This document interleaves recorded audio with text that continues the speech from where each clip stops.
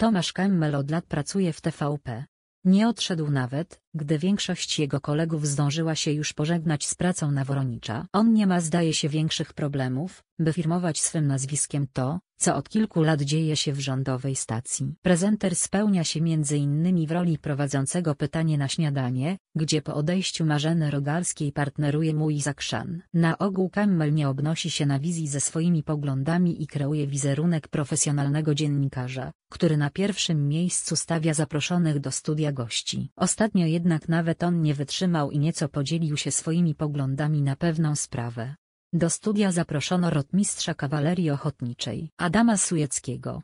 Mężczyzna podzielił się w pewnym momencie swoimi przemyśleniami dotyczącymi tego, z czym już mali chłopcy powinni być oswajani. Jest przysłowie, jeżeli mili państwo chcemy, żeby z naszych dzieci byli męże, cackami ich nie mamcie. Dajcie im konia, szable, oręże. Wtedy rośnie 15, 16 przecinek letni odpowiedzialny, dorosły młodzieniec. Powiedział rotmistrz.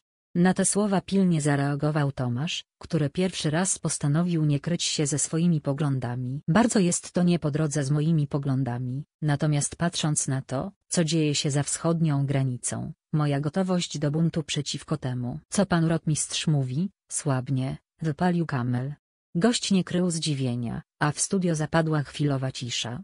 Potem ekspert kontynuował swoją wypowiedź. Zaskoczenie reakcją Tomka, Czytaj też, Tomasz Kammel pójdzie do konkurencyjnego Dzień Dobry TVN.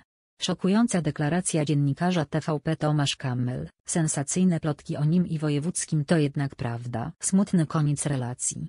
Zwyciężczyni Eurowizji oskarżona o plagiat. W sieci zawrzało.